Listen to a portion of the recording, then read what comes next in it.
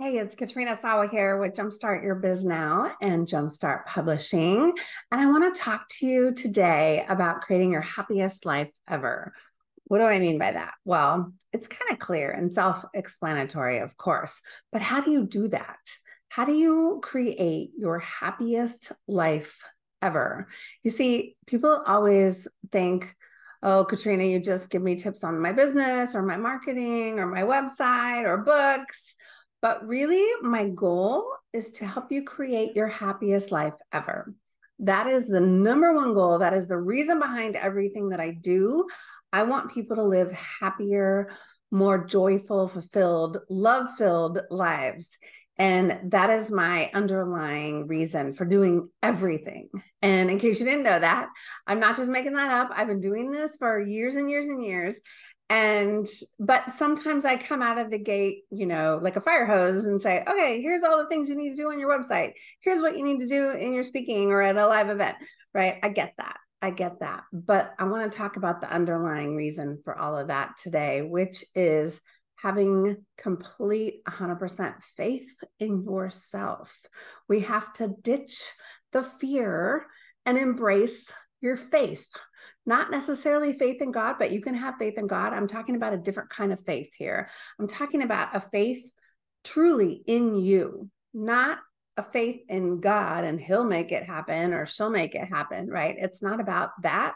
It's faith in yourself, which I think is harder, especially for those uh, who do have faith in, the, in a religion type of faith uh, faith in yourself that it'll all work out in the end. That's what I have said from day one in my business. Whether I knew what I was actually saying or not, I didn't in the beginning. Although it's funny because the very first chapter that I wrote in the very first book that I wrote in, which was Love Yourself, uh, the Power and Soul book with Ali Brown. Um, my chapter was entitled It'll All Work Out in the End somehow, some way, I knew back then, 20 something years ago, that faith was the key to getting where I wanted to go, to getting what I wanted in life, to having a fulfilled love relationship, to having a successful money making business. And I'm telling you that reflecting back on that, just over the last, you know, I sat down this morning and I thought, okay, what is the real thing that has transformed my business, my life, gotten where I wanted to go. It is believing in myself and having 100% faith in myself. Now, don't get me wrong, I doubt, I have fears, I have doubts, I question things that I do, I have regrets, I have, you know, challenges just like you, but I still have to wake up in the morning and say, I trust it's all going to work out in the end. In fact, my husband says that back to me now because I've been saying it for so many years uh, since I've known him that he actually says it to me when I'm feeling a little doubtful. So it's it's a household thing now, which is a good thing because we when he has doubts, I have the faith. When I have doubts, he has the faith, and so it all does really work itself out. Um, so I have an acronym for faith, and I want to share that with you. And hopefully, you can glean a little insight around your own life to creating your happiest life ever. So um, I have a new, well, I have a new name for my mastermind retreats. They're the Jumpstart Your Lifestyle and Business Growth Retreats.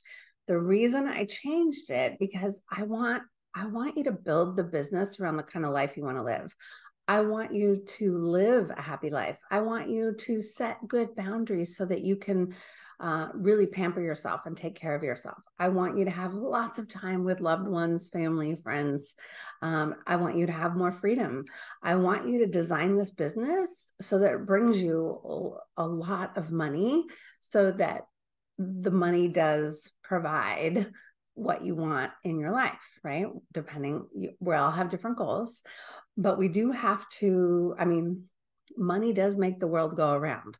So if you're not too crazy about embracing money and wanting more money, then that's something I would really urge you to work on in this coming year is wanting more and believing that it's okay to want more. It's okay to want.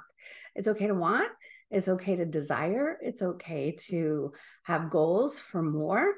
So, the Jumpstart Your Lifestyle and Business Growth retreats and events and things that I do is designed to make you want more, believe that it's possible, have faith that it'll work out in the end, and then really put those actions in place so that you can actually achieve what it is you want. So, the FAITH acronym is the F is stands for uh, fun and bold authentic brand fun and bold authentic brand. Not a meek um, you know, insignificant brand. It doesn't have to be an expensive brand. It's just the branding to me is more the messaging. I'm all about the jumpstart, right? The jumpstart is my brand.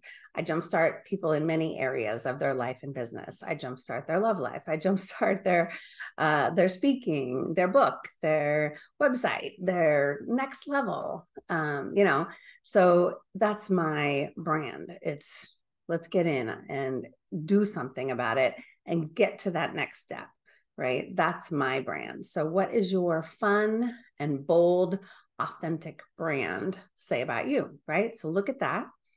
The A in faith is assertive spirit. Assertive spirit. Why do you have to have an assertive spirit? Because if you don't, if you aren't assertive, and that means you're not taking a lot of action right? That means you're kind of just sitting back and you know setting an intention and hoping it'll all work out. And yes i do i am saying that we have to trust and have faith that it'll all work out in the end but we also have to do assertive things. Like today i'm doing this video first thing in the morning before i check my email before i did anything. Um, but what is on my agenda today, besides meeting with some amazing clients and some other uh, fun folks that I'm have on my schedule, I am making phone calls and I'm saying this to you, I'm making phone calls because I honestly, I'm not a fan of making phone calls either, just like you probably aren't, right? I have to call and follow up with people. I have to call and find some amazing sponsors for my January uh, Business Reimagine conference. I have to do those fun, exciting things. Yes, we have to make marketing and sales fun. And so once I get on a roll, it's usually okay but it's just that initial getting going, right? I get it. So I have to have that assertive spirit today. So what am I doing? I'm proclaiming to you, and I'm going to put this out there that this is what I'm doing so that I know there's hundreds, maybe thousands, I don't know, that are watching this and going, ah, Katrina's got to make her phone calls. Maybe that'll inspire you to make your phone calls. I don't know. And I'll have to report in at the end of the week and let you know how I did. but I have a goal of getting at least $5,000 in sponsorships this week. So that's my assertive spirit. And I can't let excuses and uh, procrastination or distractions get in my way. So that assertive spirit is the stuff that makes you get stuff done regardless of what's going on in your life or world. Okay. So for F is fun and bold, authentic brand. A is assertive spirit. This is all to help you jumpstart your lifestyle and give you more business growth, right? So the I is intuitive approach. Intuitive approach. Why do I say that? Well, I think the most successful years that I've had in my business, I was listening to my gut. I was I would sit for a second. I'm not the type of person that has to sit and think on something for a day, a week, a couple hours. Uh, I I literally can sit and go, okay, am I going to do this or am I going to do that? Or how am I going to do the blah blah blah? And then boom, the instant download comes usually. And so I get that hit right away. If you're not that kind of person, I get it might take a little longer, but don't let it take too long that's where the assertive spirit has to come in, right?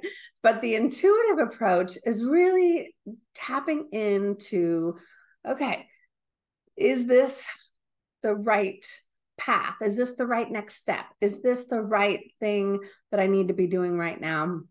Yes or no?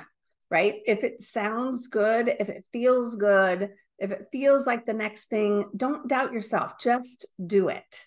Now, could it be end up being like the wrong step? There is no wrong step. Every step is going to get you to your destination if you keep taking those steps, right? You just might have to course correct a little bit. Uh, so, intuitive approach, as long as you feel like it's the right step, you take it, right? And then when you get there, you evaluate again and then you're like okay now where oh i need to go over here now. Okay and then you take that. So just tapping into that intuition and that knowing um, that doesn't mean you're going to know how to do everything right? We don't know how we still have to learn and hire people to teach us stuff right? I get that. So i'm not saying that you're going to tap in and get all this knowledge like all the how to of every step you need to take. No that's not what i'm saying. What i'm saying is like if your intuition is telling you that yes, this coming year is the year for you to host your own live event or to start a membership or to take more vacations with your family or whatever that is, you know, work out, lose weight, um, finally uh, start a podcast, whatever, whatever that intuition is telling you. Okay, great. Then take that and let's build a plan around that. Okay. So intuitive approach is, is the I in faith. Then T is trust and love ourself, right? Yourself. Trust and love. I got to trust and love myself along the way. I've got to give myself grace uh, for mishaps and you know a delayed response or a little bit of procrastination uh, perhaps or give myself grace like if you're sick or you have to take care of somebody okay so that week's gone no big deal just check it off and keep going right? You can't sit in uh dwelling on oh woe is me oh i ruined everything oh it was such a horrible thing or i failed or ah no. Give yourself grace. Give yourself permission to make mistakes. Give yourself permission to just do things messy right? You can't you can't always wait for perfection. Sometimes you have to just do things messy. And and uh, then just keep correcting and course correcting. If you wait until everything's perfect you'll never launch that program you'll never launch that po- podcast. You probably won't um, create the event. You know what i'm saying? So it, just do things messy. Trust and love yourself to give you grace give you permission uh, forgive yourself for mistakes. Don't be resentful and don't be guilt ridden, but forgive yourself and move on, right? You're not perfect. It's not a perfect uh, world we live in, right? Outside influences can affect us too, but still, please just trust and love yourself always because you have to stay in that energy. You have to stay in that love energy. All right. And then the H in faith is creating your happiest lifestyle ever action plan, right? I'm all about action, right? You know, about the jumpstart. So, how do you jumpstart your faith? Well, you create that action plan. Once you have that brand and that messaging and that thought process and who it's for, and you get that assertive spirit, right? Okay, I'm ready to go. Let's go. And then you've got that intuitive thinking, okay, I'm going to do these things, right? And then you trust and love yourself. It's all going to work itself out in the end. I, I'm not perfect, but I'm going to go and do this thing and I'm just going to do it. And the right people are going to come and find me and like me. And so it's creating that, those action steps. Okay, what does that need to do? Now you may not, you, you may not know all those steps, right? I get that. We don't always know the how. We don't always know the next step that's why people hire me and other people you know is because sometimes you need a little guidance. But at least if you have clarity around those other areas you can go in and speak with somebody and say okay i'm this this this this. What are the steps i need to take and how do i get there right okay great when someone comes to me with that kind of clarity i'm like perfect da, da, da, da, da, da, da. here's your OOI your order of importance, your order of importance, your OOI, I call it OOI, right? Here's your OOI on your market set, go, right? And it's just simpler. It's faster, it's simpler. It gets you to that ultimate uh, lifestyle that you desire sooner than later. Um, it gets you to that business growth. Um, you, you've heard me say this, I'm sure that just I'm so passionate about helping you get more love in your life love for yourself, love with a significant other, love for what you're doing, love in your environment, getting rid of toxic people, love for yourself, and then money in your business because money is going to fuel your desires, your needs, your wants, your lifestyle, uh, the goals that you have. Money is going to fuel that and it's you know you can i don't care. If you don't need money just give it all away. But more people that are doing good in the world if more people are doing good make more money the world is going to be a better place right? So please if you're a good person please focus on making more money in your business so that you can spread it around. It's a ripple effect right? So all right. So i hope this has given you some um inspiration and maybe some even some ideas on how to ditch the fear, embrace your faith so that you can create your happiest life ever. Uh, this is Katrina Sawa, and uh, you can find me at jumpstartyourbiznow.com. Happy to have a conversation and happy holidays.